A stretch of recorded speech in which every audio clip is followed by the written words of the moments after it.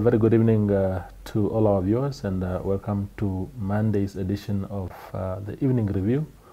My name is Toiwan Jabala, your host. Tonight on the show, we are joined by Andre Compion. He is uh, the managing director of Fly Namibia, and uh, we are just here to catch up with uh, what is the latest at the, at the, at the, airline. thank you, Andre, for making time. It's my pleasure. Yeah. yeah. Thank you, Toyo. Wonderful. You, you, your company took over in a very difficult period uh, in the advent of uh, COVID-19, but uh, seemingly you have consolidated your operations, you have, uh, you know, sort of consolidated your identity also, um, and so much has, has happened since then. Um, how, how is it going? It's going well. It's a, it's, a, it's a very difficult industry that we're in. Yeah. It's very capital intensive. Uh, COVID it is no favourites, but um, it's going well. We're concentrating on, on a lot of training at the moment. Yeah. Um, we are moving through our partnership with, with Airlink. We are moving onto the global distribution system uh, through which we will sell our tickets, mm -hmm. which will make a huge difference. Yeah. So at the moment we're in the preparatory phase of that. We hope to um, complete that by the end of January, somewhere in February. Um, like I said, we're doing a lot of recruitment and, and training at the moment, mm -hmm. and we're really gearing up for, for what we envisage achieving next year. Okay. So currently, where, where do you operate? I mean, I know that uh, locally you, you are flying to many des destinations, uh, but uh, are you in the regions for now? Do you do um, international flights? Um, we do regional flights, okay. and we will remain a, a regional and domestic feeder airline. Um, regionally, we're flying to Cape Town at the moment. We've applied for the rights to fly between Cape Town and Walvis Bay, which we hope to, to be able to do quite soon. Mm -hmm. And then uh, from, from the 1st of March, we will flying, we'll be flying to Johannesburg twice a day. We also, during the second quarter of, of next year, envisage flying to Maun, Vic Falls and Luanda. Okay. Mm. And, and locally? Locally, we've got two services. We've got the normal scheduled passenger services, which mm -hmm. we're flying to Oranjemund, Lüderitz, Walvis Bay, which is a new service. Uh, then we're flying to Ondangwa, Rundu, and Katima. Mm -hmm. um, then we also have what we call the safari route, which is focused on, on, on tourism. It's a flight that departs from Hosea Kutako to the Sossusvlei Sesriem area, uh, and then from there via the coast, Swakopmund, up to the Etosha area, to the lodges there, offers mm -hmm. a daily link uh, specifically for tourists between the lodges. Wonderful. Um, uh, how, how's the uptake, especially locally? Um, what, what, we've learned uh, from COVID, if anything, is that uh, we couldn't rely as a country a lot on foreign visitors and foreign tourism. Uh, I think the silver lining of that whole pandemic in terms of tourism and travel was uh, seeing more Namibians wanting to go to places. Um, how, how, are your domestic uh, flights doing? Domestic flights are doing surprisingly well. Um, there's been domestic services for many, many decades in the country. Um, and I must say I'm quite surprised by, by the number of passengers that we're moving. Uh, I think one of the big benefits is that the bulk of our domestic services are being done in jet aircraft. Yeah. Um, obviously pressurized aircraft. It's a lot more comfortable than what things used to be in the past. So flights like, like Ondangwa and Katima Mulilo are very full uh, with virtually every flight. Uh, Walvis Bay is picking up nicely now. So um, as far as domestic travel is concerned, the majority of that remains business travel, mm -hmm. um, apart from the specialized tourism safari route, like I've mentioned to you. Yeah. Uh, the one thing with tourism, if you want to get into, into a, a, a overseas operator's itinerary, uh, it takes about two years. Yeah. So with the products that, that we've launched, we anticipate, you know, the products maturing in about 18 months from now. Mm -hmm, mm -hmm. The, there's um, a lot of operators in the in the Namibian airspace. Um, I know that there were some airlines that sort of withdrew their operations a little bit, I think, due to COVID, but some of them have since returned. Mm, how are you keeping up with that competition, especially from more established uh, brands? We are the only scheduled passenger operator within Namibia, domestic operator. Mm -hmm. uh, there are obviously a lot of non-scheduled operators, but we're the only operator where you can buy a ticket through a travel agent and, and, and book a seat with us. Uh, in that regard, we don't have any competition in the country. Mm-hmm, mm-hmm. Well, and, and I suppose then your other airlines are not you're not on those routes, so also there you don't have a competition. You're not involved in that competition either. Our, our, our business model is based on, on, on connectivity. Yeah. We want to, to feed into larger airlines and, and feed off them. Um, and that's what we're trying to create here.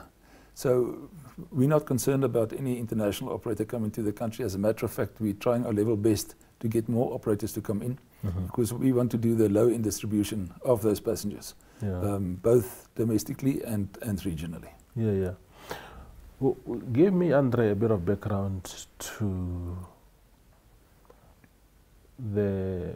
What, is the history of of Fly Namibia? Because there seems to be a lot of, you know, conspiracies and all these things. You know, people linking you to this or that. But if you can give us a bit of background as to where where this company came from, and is it a truly Namibian company? Of course, we know that there's uh, now a shareholding from Airlink of South Africa, but prior to that, Fly Namibia started off as Fly West Air. Uh, the, the shareholders in Fly West are the same people that are still involved today, apart from the fact that three different shareholders um, joined the company when after Fly Namibia was formed. Um, those three additional shareholders are myself, Mr. Philip Ellis, and then obviously Airlink with a 40% stake. Um, the, the, the, the other current shareholders are the guys who started Fly Namibia. They're all involved directly in the operation, um, and they took up shares right from the outset. So the, the conspiracies that you, you refer to, I've heard them. It's Mm. simply not, not the case. yeah. So the first lady right now, sh- she's no longer Not involved. at all. Yeah. There is, there is no involvement. Wonderful. The the um, so so what is the strategic importance in your view of having Airlink on board? I think it's a, bi- a bold move there. Airlink is the, the second biggest airline in Africa. Um, they are very successful. They've always been successful from the outset. Um, they, they have a critical mass, a size which is competitive to nothing else in the sub-region. Uh, they currently operate 63 aircraft. Um, they do in excess of 250 routes per day. They carry more than 8,000 passengers per day. Um, and they've achieved that, they've built that business being a totally private entity. Um, and they were up against very stiff competition from subsidized government owned airlines. So their track record to me um, was, was, was, was undoubtedly one that I wanted to be associated with. Uh, and we've decided to approach them to become part of, of, of Fly Namibia for a couple of reasons. Firstly, they obviously bring significant capital to, to our business, which we need in this expansion phase. But secondly, they bring the critical mass in sense of the distribution channels that they have, uh, their interline agreements and their code share agreements that they have with, with most carriers worldwide. Um, they bring that feed. And for us to develop a, a distribution system similar to that would have taken us decades. Mm. took them 30 years to develop this. So we can now go from a very small privately owned independent airline to someone being linked into a very well established global system Mm. almost overnight. And that was the most important reason why we decided to, to, to bring them on board. However, they remain a minority shareholder without any control in the airline. Yeah. Uh, they made a strategic investment. Uh, they will add a lot of value, but Fly Namibia will, will remain independent, privately owned Namibian carrier. Mm, mm, mm. Yeah, it's a it's a it's a very good thing actually because um, obviously everybody. I mean, there's always that pride, especially when you fly with the name of the country. Uh, you you want to remain as as Namibian as you can be, but um, I, I suppose uh, the future will also dictate a lot of things. But it's a good commitment, at least from you, to say, look. Uh, uh, despite what might happen in the future, we still want to remain a, a truly Namibian uh, entity. Because I'm thinking, for example, in the future, if uh, Airlink want to increase their stake in the company. It's not possible. Um, our legislation requires a Namibian carrier to be majority Namibian owned and Namibian controlled. Mm-hmm. So, so us losing our Namibian character, it's simply not going to happen. Yeah. Um, it's very good to have someone with a with a muscle uh, involved, such as Airlink, but uh, the concern that, that there's a takeover of, of Fly Namibia or that it may happen in future is, is, is simply devoid of any truth. It can't happen. Yeah, yeah. What is um, what is the size of your operations in terms of maybe your your fleet? Um, you you referred to yourself as as being a, a small Namibian operator that has brought a very big operator on board, and therefore as, as part of the expansion. But, but as, as matters stand now, how many how many planes, planes for, for example, do you operate?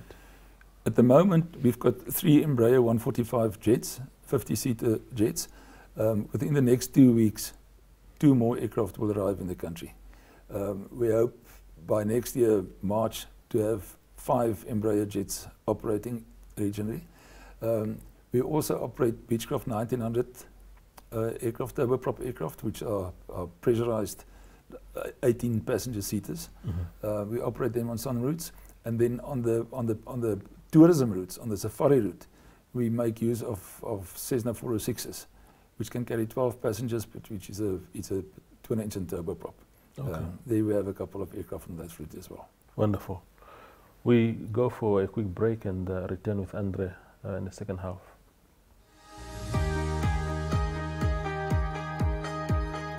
The Regional Review brings you news, views, and interviews from NMH correspondents from across the country.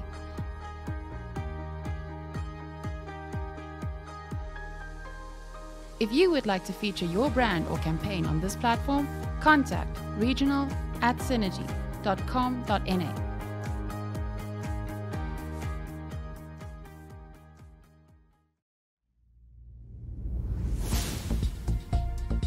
Sunset News is a daily news show focusing on national headlines as well as international news. If you'd like to feature your brand or campaign on this platform, please contact sunset at synergy.com.na. Sunset News. Don't end your day without us.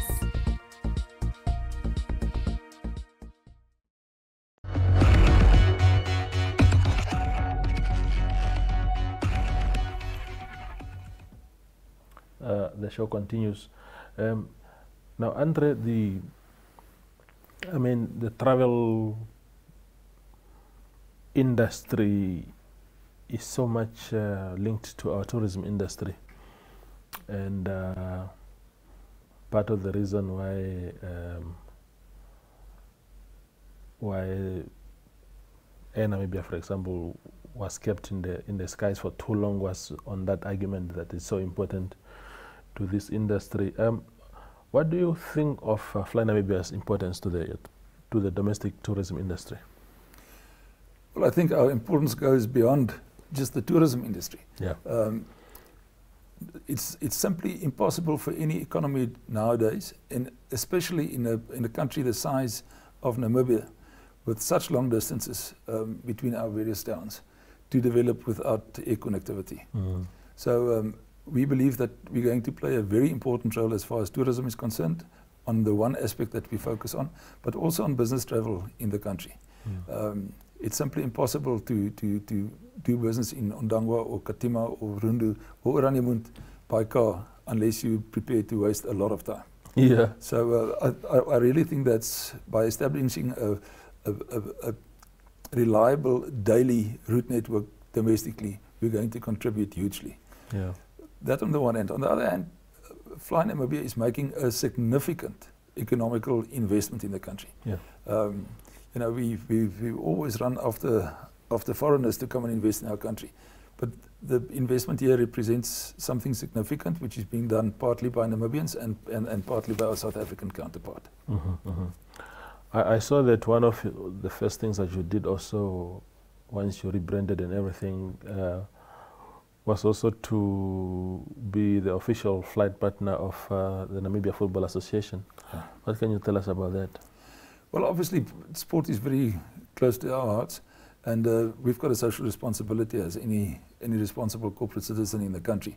So um, we're supporting Namibian uh, soccer and we're supporting Namibian cricket at this stage, where we are the, the official carriers of, of both the sports. Mhm. Um, we've just we've just done a flight for for um, the soccer team to Luanda, Mhm. which is a significant contribution, and similarly so with with uh, with the cricket team. Yeah. Um, we we the official carrier. Wha- What, what does official career mean um, for, for an ordinary man like myself? What does it mean? We get the rights to to use their brand, um, and vice versa, uh, to transport them to to big events. Um, where they travel as a, as a team together with us. At a discount, or how does it mean? Yeah, yeah, it's a Okay. significant discount. Okay, wonderful. The, the it- yeah, so the um, uh, again r- related to to the size of the company. I mean, the workforce. I mean, one of the, your contributions, of course, is also employing Namibians. Um, well, what is your staff complement?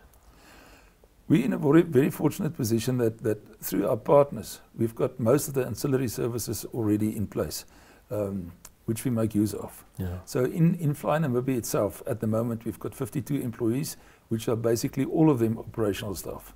Mhm. Uh, we outsource our maintenance, we outsource our HR functions, all to, to our partners in the business. So many of those functions are being performed by West Air.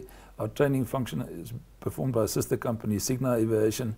Um, a lot of the training in South Africa happens with, with Airlink, which is now also part of us. Mhm. But the, what we what we really determined to do is to upskill Namib- Namibians, train Namibians, and employ Namibians, and retain their services in the in the company. Mhm. So um, those will be basically operational. It will be it will be pilots, it will be cabin crew, and and then also on the maintenance side, um, we're focusing a lot on on their training and their employment at the moment. Mhm, mhm. The the um, um, and I'm, I'm I'm forgetting my question. I had a very good question there. Um, yeah, yeah. So the the plans around as a stakeholder, when you hear the plans around the expansion of the airport, or even building a new one uh, that has also been contemplated, what what will that what will that do to a company like yours? Like I said previously, our focus is on on feeding onto big aircraft and and and, and de-feeding off them. Yeah. So to to to make Namibia an attractive destination for foreign carriers, for large carriers to come in, um, the most important aspect really goes around the, the, the attractiveness of, of our international airport of Hosea Kutako. And the number one determinant of attractiveness is connectivity. So no foreign airline will want to fly into Windhoek if there aren't any passengers for them to pick up. Yeah, yeah. You know, so um, what we're trying to establish is is a, is a very strong regional and domestic feed and de-feed of the international carriers, Mhm. and for that we need the international carriers to come into the country. Mhm. Um, we've fortunately seen with Eurowings they're already putting 10 flights a week into into Uziako Um, and I've, I've, I'm excited about about major developments at, at the airport, Mhm. which will really be a game changer for our country Mhm. um, as far as, as, as, as the influx of tourism is concerned. Yeah.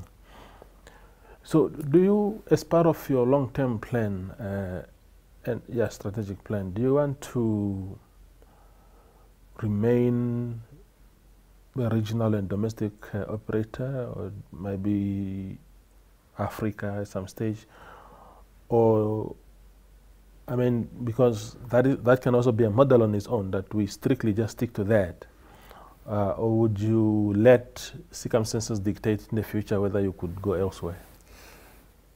Going elsewhere will, will, will, will never entail wide-body aircraft. We will not fly internationally in the sense from flying from here to Europe or, or elsewhere. Um, I think that our industry has developed to the point whereby you must, you must focus on what you can do well Uh-huh. and the, the major international carriers have, have established themselves to try and go head on with them will be financial suicide and we will never endeavor to do that. Mhm. Uh, we, we will, however, expand regionally and domestically as far as there's a business case for it. Absolutely. Andre, I think uh, you've done justice to the conversation. we would uh, like to thank you for making time, but uh, we will continue to invite you for as long as we see that there are new movements within Fly Namibia. But uh, thanks a lot for your time. You're very welcome. Thank yeah, you, Togo. Yeah, sure. That's uh, Andre Compion. He's uh, the MD of Fly Namibia, just giving us a little bit of update on what's happening at the company. Thank you for watching. The Evening Review is a daily interview based talk show that dissects and expounds on current affairs as they occur in Namibia. The show aims at reaching Namibians of all age groups who seek better understanding of the state of current affairs in the country. This show is broadcasted on NTV, oneup2.com, and cross-shared on the following Facebook platforms, Namibian Sun and Namibia Media Holdings. The Evening Review focuses on interviews, latest news, and up-to-the-minute current events. Contact evening at synergy.com.na.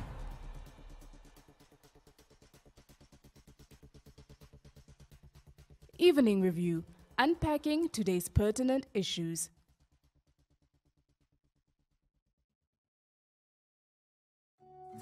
Take a load off and tune into another episode of Brave Namibia as we take a look at both ordinary and extraordinary Namibians. Brave Namibia is broadcasted on NTV Saturdays at 6:30 p.m. and oneup2.com, as well as broadcasted on the following Facebook platforms on Wednesday at 5.30 p.m. Republikein, Allgemeine Zeitung, Namibian Sun, and all Namibia Media Holdings pages. For more information, contact the Brave team at brave at synergy.com.na. Brave Namibia, for the ordinary and extraordinary Namibians.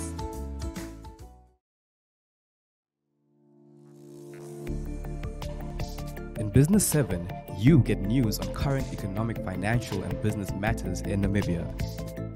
The weekly show features interviews with experts and in depth analysis of burning issues in a way that caters for ordinary Namibians and business connoisseurs alike. For news related or advertising queries, please contact B7 at synergy.com.na.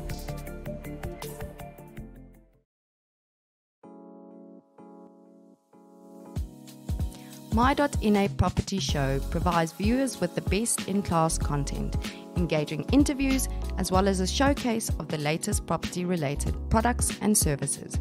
If you would like to feature your brand or your campaign on this platform, contact my.na at synergy.com.na. My.na Properties, more than just a roof over your head.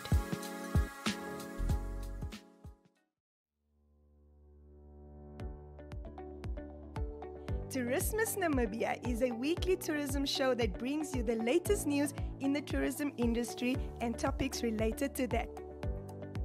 If you would like to feature your brand or campaign on this platform, contact tourismus at synergy.com.na for news and advertising related queries. Tourismus, bring the world to Namibia.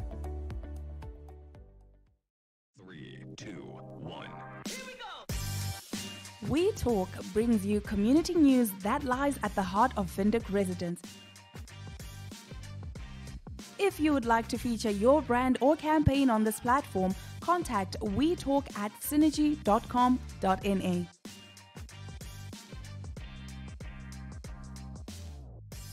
You live, we talk.